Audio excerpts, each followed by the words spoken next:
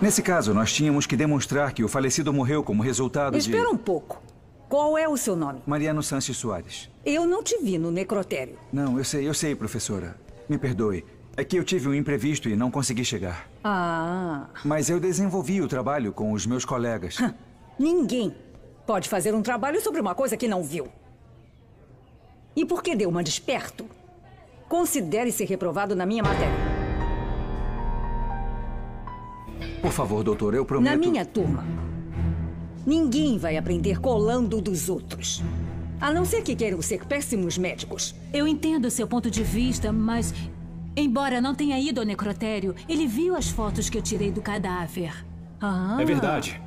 Inclusive, a Magda e eu tínhamos uma teoria diferente.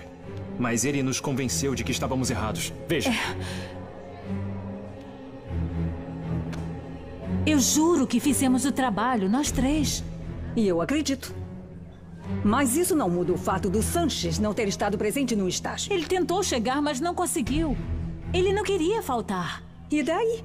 Ah, é assim que ele vai diagnosticar os pacientes através de fotografias enquanto está de férias no litoral. Não, não, doutor. Olha, se me der uma chance, eu posso refazer... Navarrete, Leon e Marvin. Eu quero que me façam um grande favor.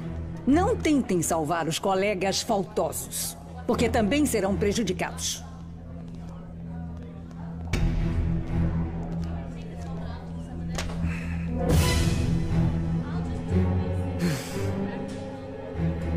Isso não tá certo. A decisão da doutora foi injusta. É, mas ela tá no direito dela de não me aceitar na equipe. A culpa foi minha por não ter aparecido no necrotério. Ah, mas você trabalhou. O problema é que não houve jeito de convencer ela. Olha, eu agradeço que tenham tentado me ajudar, mas... Por minha culpa, vocês também foram prejudicados. Ah, Mariano, não se preocupa. É que eu fico chateado por vocês. Me desculpem. Não se preocupe. A gente vai fazer todo o possível para dar a volta por cima.